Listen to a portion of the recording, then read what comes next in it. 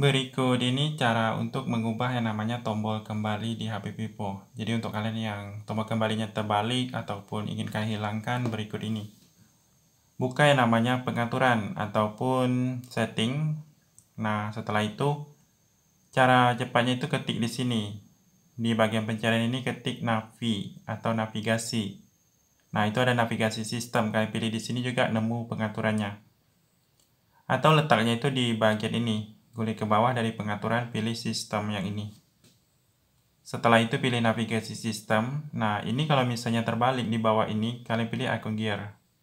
Nah, kita bisa mengubahnya mau di sebelah kiri atau di sebelah kanan untuk tombol kembalinya. Ikonnya juga bisa kita pilih mau yang garis tiga atau kotak. Jadi seperti itu. Kemudian untuk kalian yang ingin menghilangkan cuman pakai gestur saja pilih yang navigasi gestur. Dia akan hilang di sini. Jadi perintahnya itu seperti ini. Jadi kalian bisa ketuk di sini untuk melihat tutorialnya. Jadi sangat mudah silakan dicoba semoga bermanfaat